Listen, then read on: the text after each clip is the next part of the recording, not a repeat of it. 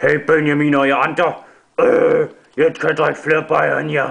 Øh, øh, kom så med hjem.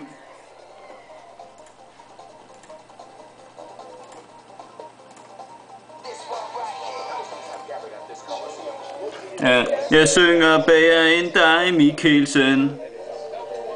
Ja, jeg gør. Betyder venner for mig så meget.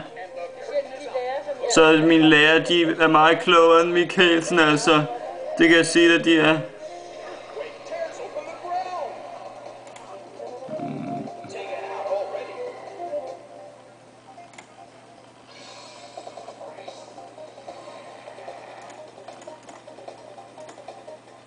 Og Mikkelsen, han er så højnæse, at jeg ikke giver at snakke med ham. Så øh, det kan jeg godt sige til Fransen. Jeg giver ikke snakke med Mikkelsen. For i 1984, der er han måske født den der gamle Støjer Mikkelsen. Uh, jeg tror ikke, at jeg vil høre om Mikkelsen.